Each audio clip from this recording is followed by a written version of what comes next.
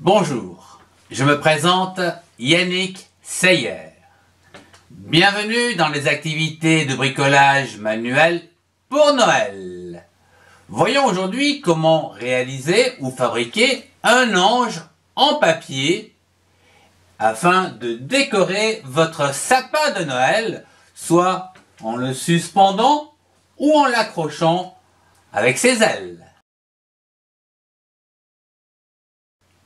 Voyons comment fabriquer un ange en papier, comme celui-ci, pour décorer votre arbre de Noël, votre salon, votre cheminée, etc.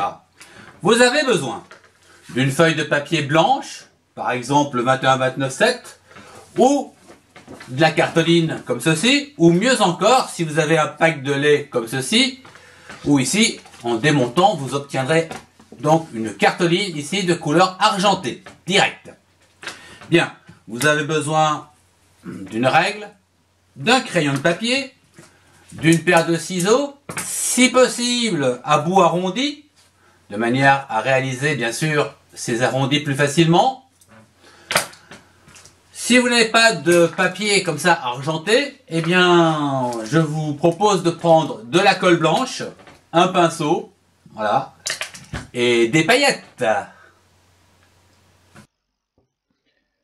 Prendre une feuille de papier ou de cartoline de couleur blanche et tracer un rectangle de 10 cm de longueur sur 8 cm de hauteur.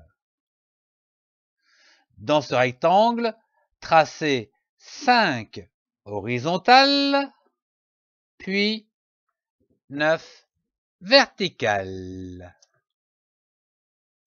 Tracez la tête de l'ange en forme de rond, puis les ailes en arc de cercle passant par les points en noir. Et enfin, la robe et le bas de cette dernière. À l'aide d'une paire de ciseaux, si possible courbé, découpez le contour de l'ange et utilisez-le comme gabarit pour faire d'autres anges, comme par exemple dans du carton argenté d'une brique de lait. À défaut de brique de lait, déposez de la colle au pourtour de l'ange et saupoudrez avec des paillettes de couleur dorée, blanche ou or. Dès que vos anges sont terminés, vous pouvez les accrocher sur le sapin, soit par les ailes entre deux branches, ou utiliser un trombone pour les suspendre. Ce tuto se termine. Je vous remercie de l'avoir suivi. Je vous souhaite de joyeuses fêtes de fin d'année et surtout un excellent Noël. Alors, je vais le mettre ici.